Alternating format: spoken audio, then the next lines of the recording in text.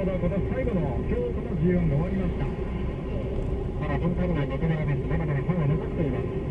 今年の京都の開催自体もいよいよ来週でフィナーレですがさあ今日の最後のレースです。京都の12レース西陣ステーク3歳以上の準オープンダートの 1200m15 頭です。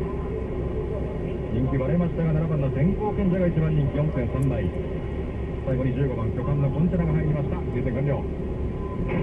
スタートしていきました。ほぼ揃った飛び出しになりました。15頭です。さあまずは G1 勝ちリュウキが乗ります。12番の G プルメリアが出ていったところでしたがペース1番のゼンノサーベイヤー3番のシルバードリーム5番のスマートネイテッドマインフェイフェイ4番名称それぞれその後5番手6番の立山になりました。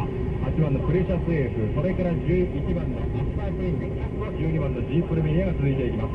7番の電光現像集団前までこの位置6一橋になりました。10番のケイマそれから15番のコンテナが続いていって後方に9番のインクミタカ13番サージグランド2番の高野アム最後方から14番の鈴鹿アーサーです。ただ固まっています。先頭から最後方も10馬身と少しぐらいになってきました。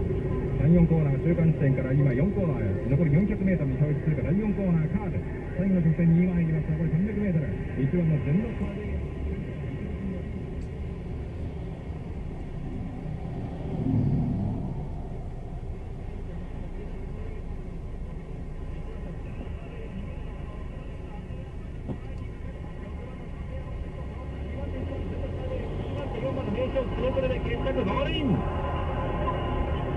勝ちましたのは6番の立山松山康平でした2着に1番のゼンノサーベイヤーとルメールそして3着に4番の名将それぞれ北村唯一同じ順番になりそうです時計は1分11秒1上がり4ホロン47秒7パワハロンは36秒0 1番のゼンノサーベイヤーが激の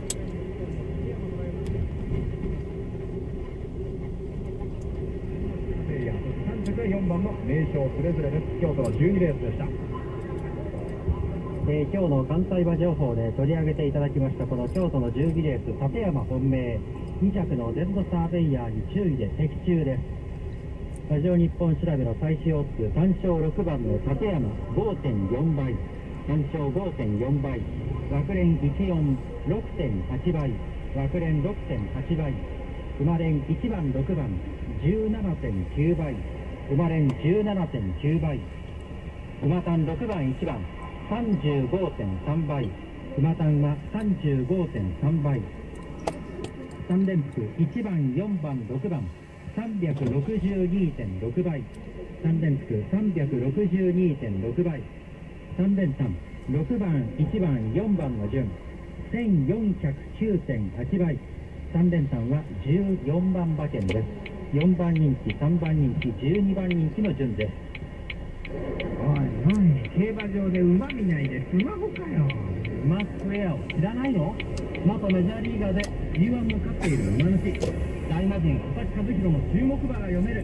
大リーグボール22号だよ。今日のメインの注目馬はあの馬か。見せろよこれどうやったら読めるの？メールを送るだけで簡単に読めるよ。1A アットマーク UMASQ.jp だよ今すぐに送ってみなよ本当だこんな簡単に読めちゃうんだ一緒に大魔神の注目馬を応援しようぜ。パチンコスロットモナコは桜木町本木二俣川大きなキ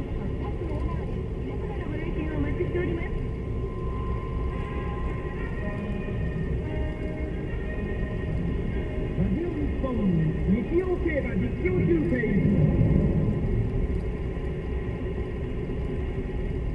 これで今日の全レースが終了してあとは京都の12レースの払い腰が待っているところです。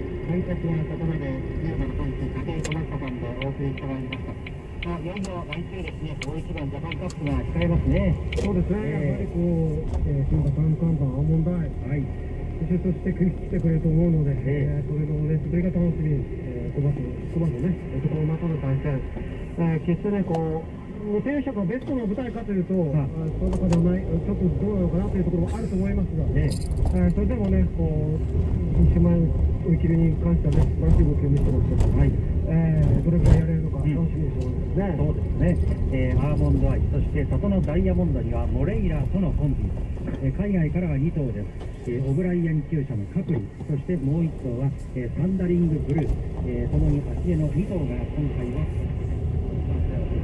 ドラーブリチャード巻き返しを図ります。ここまで武井智彦さんでした。どうもありがとうございました。失礼しました。